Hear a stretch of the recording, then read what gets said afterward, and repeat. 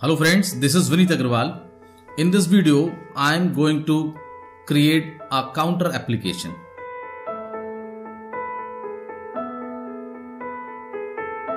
For that, I'll take a label component as well as the timer component. And this counter application will show the number in increasing manner. When it reaches to its highest limit, whatever we set, it will be reinitialized by its default value. Alright, first of all, I'm doing something with the form.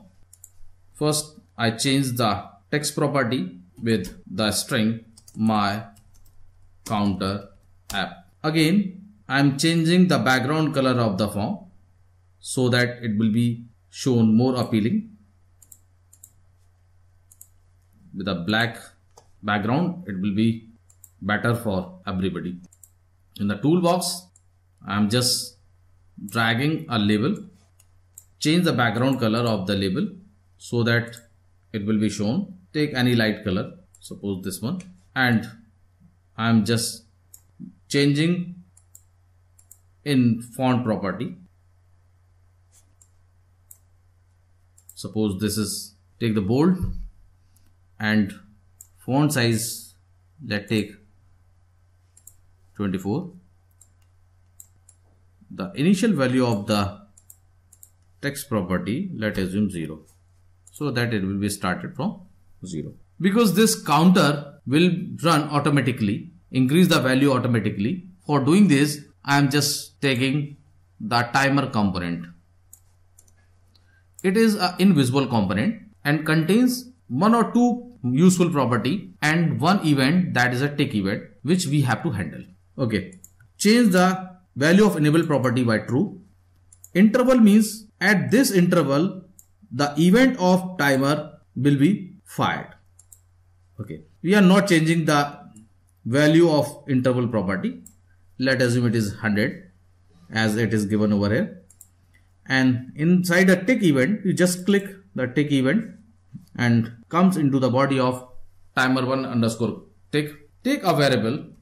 Let int i is equals to 0 let i is equals to 1 it will be better because we have shown the 0 initially. Then label 1 1 dot text is equals to i. But i is an integer and label 1 dot text property can contain only the string. That is why you have two options. The first option is either you can concatenate the blank string or the second option you can use i dot like this i dot to string. So whatever you like you can do. Increase the value of i and then check. If i goes to upper limit let assume it is 100 it will be reinitialized by 0 now run the application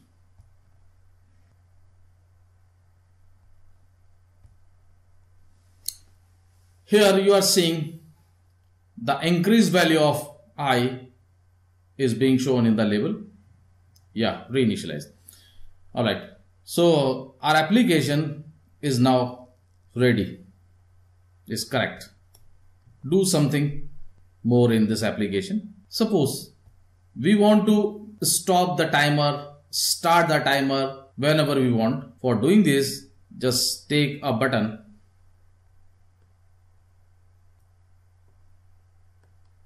and the, text property you just write a start. It's not necessary but put some meaningful information over here so that uh, everybody can understand uh, whenever he or she want to start can easily understand. Now click on the click event of the button object. Inside this just check if button one dot text is equals to start because initially it is start First of all, button 1 dot text is equals to stop and then timer 1 dot enabled is equals to false. Otherwise, button 1 dot text is equals to start and timer 1 dot enabled is equals to true and initially set the enable property of timer with a false value. Save it and then run. When we click on the start button,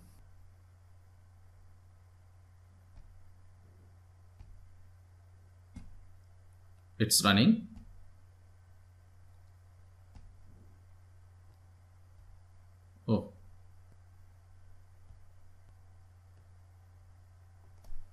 Inside this, use the if statement.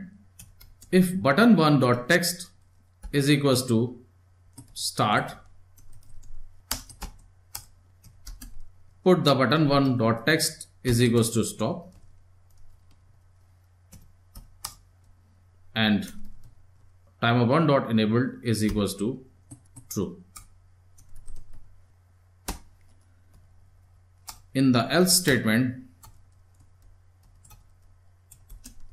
button one dot text is equals to start and timer one dot enabled is equals to false. And before running this application, you just change the enabled property of timer with a value false initially and then run this application.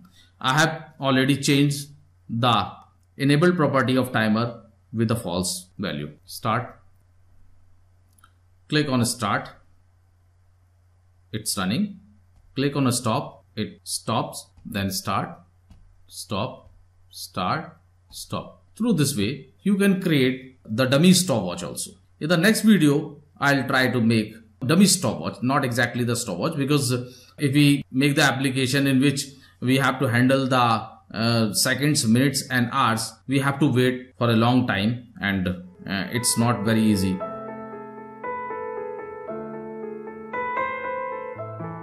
Uh, in the next video, I'll make the application of dummy stopwatch which contains minutes and seconds in stopwatch.